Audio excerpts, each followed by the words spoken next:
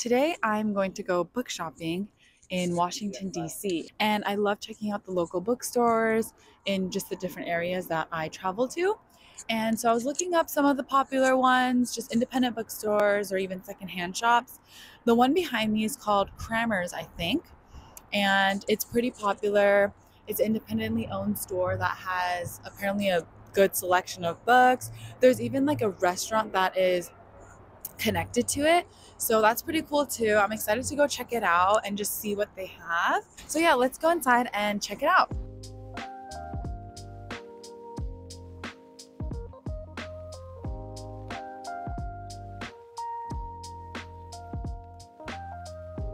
Yeah, I feel like they have this is probably like the new collection. It looks like a lot of like the new releases. Mmm. I read ACOTAR.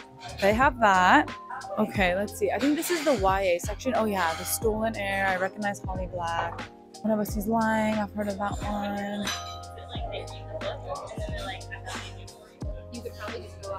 Mm, I really like Station 11.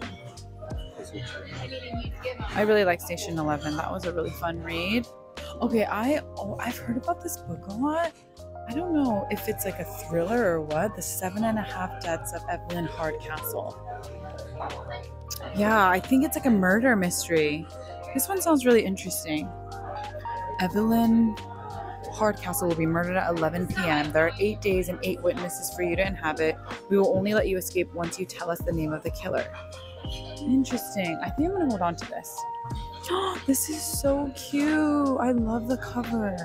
Oh, the tea is hot, the scones are fresh, and the dead are just passing through. So I think, oh, okay, okay. I recognize the style when, so it's like a series of the house in the Cerulean Sea, but I think this one is first, so I shouldn't start off with this. But wait, if the, if I can find it here, I might actually get that. Mm, love this book too. I want to reread it at some point. Okay, there's a lot going on here. I feel slightly overwhelmed, but I just need to I just need to look around, just keep my eyes open. I want to look for the house on the Cerulean Sea.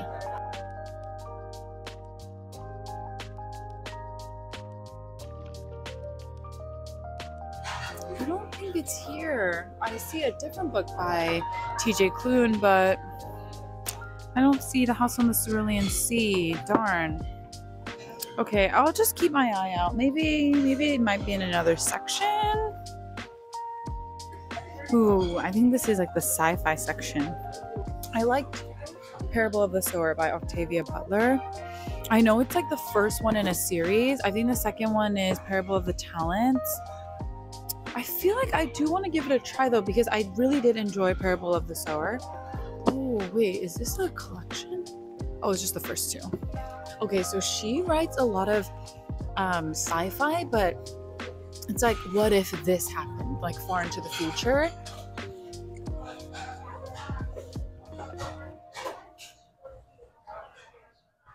Dune.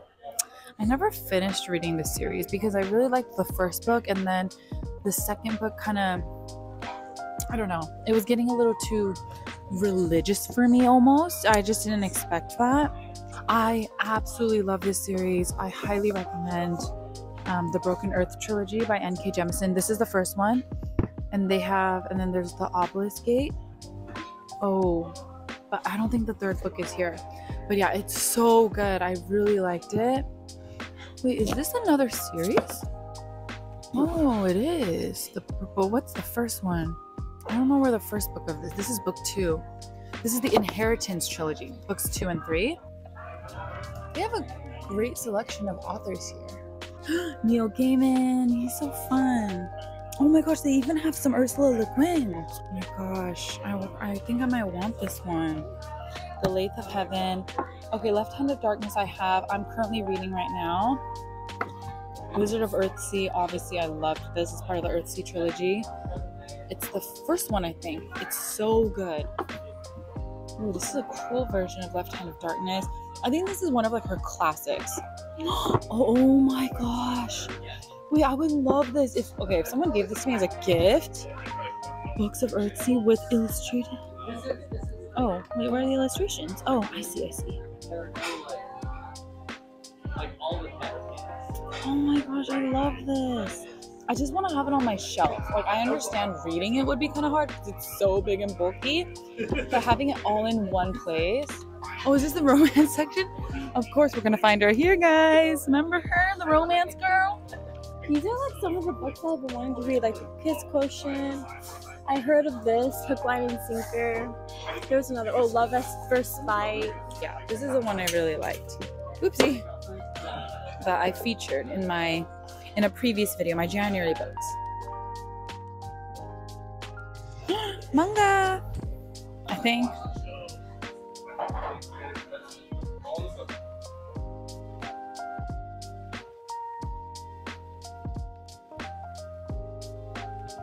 Ethan Hawke wrote a book?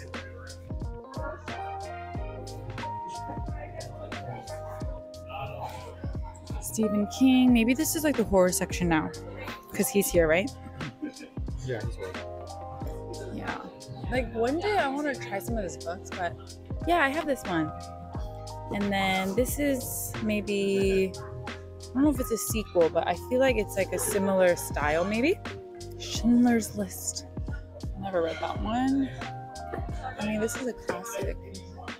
It's cute. I like the cover. Yeah, guys. I mean, one day I want to read it, but I don't know if that day's today.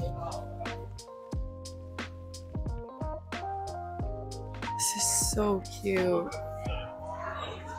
The Buried Giant.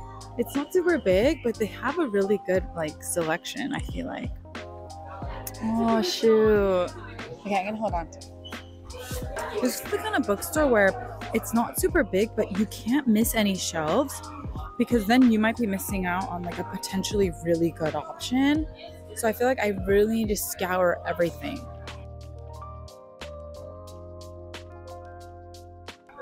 I really wanted to read this book, but I haven't been able to find it anywhere. And of course, they have it here, but it's $25. It's expensive. Place of Greater Safety by Hilary Mantel.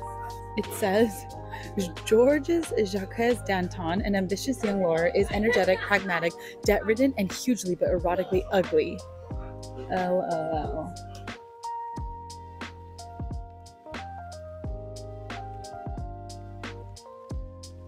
Did you check out the other side already?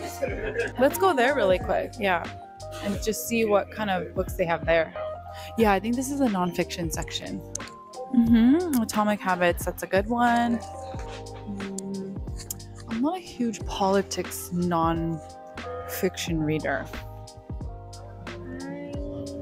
I'm interested in a lot of topics, but somehow I actually don't end up reading a lot of those kind of books.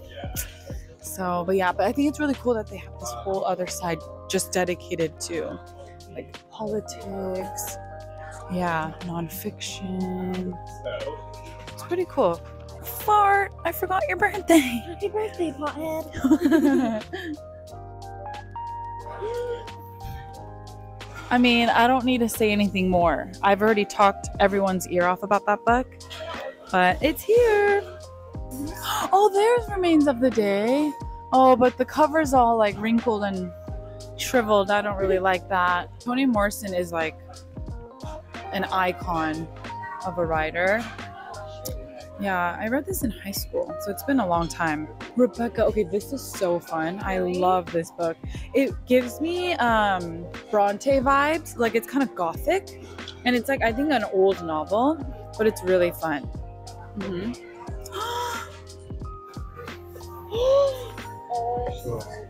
I don't want to touch it.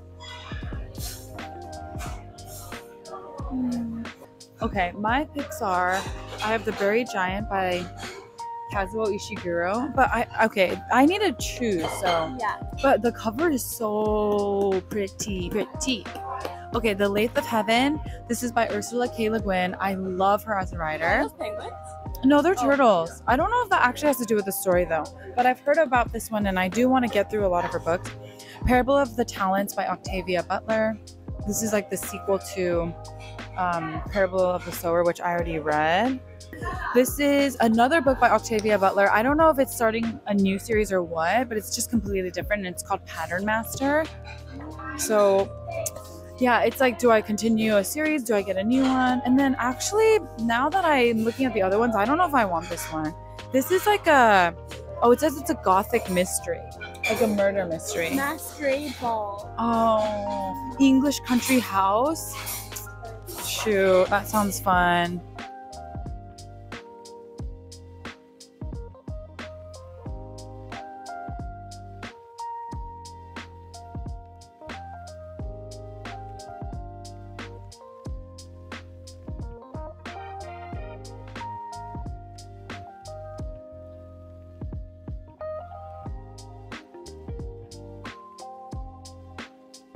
So, next stop is a place called Lost City Books. And I think that this might have um, used books. I actually hope that they do because I love a good used bookstore. There's something so fun about having to kind of dig around and just see what you can find. And it's not always going to be like the newest books, you know, but you never know. So there's something really fun about that. And I also love getting a deal on books because yeah, just paying full price, man. That adds up. I guess because President's Day, so a lot of places are closed. That makes sense. Oh, here we are. Oh, city book. Wait, ooh, look, even here there's new, used, and new and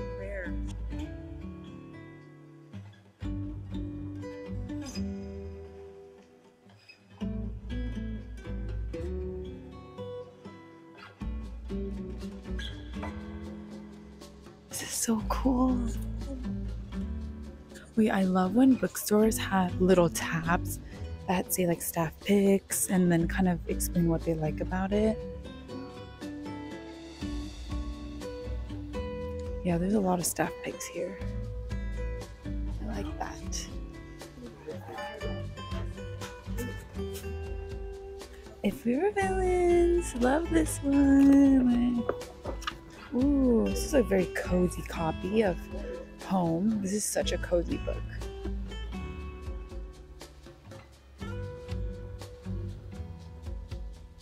Ooh, I read this book last year. Oh, this is such a cute cover though. This is fun. I guess this is one of the staff picks. Awesome. Ryan and I, we have similar tastes, don't we?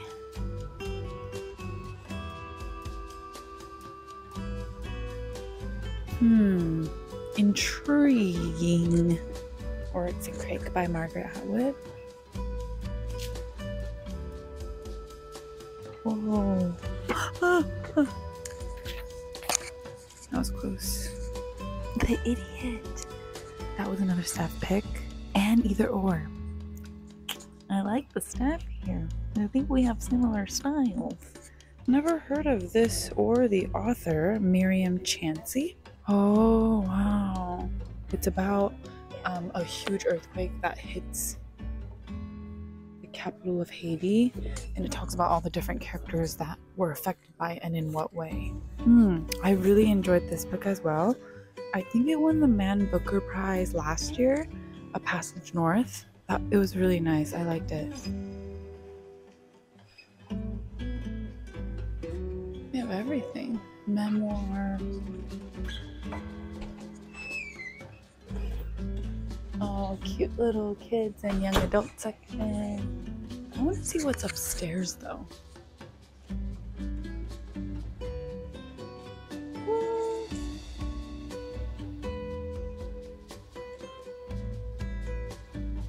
Black studies, LGBT, world history, anthropology, political science.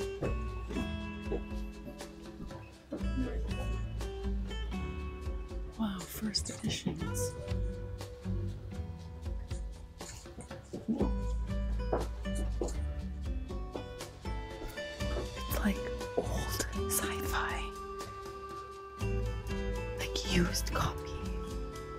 You see it? This is four dollars.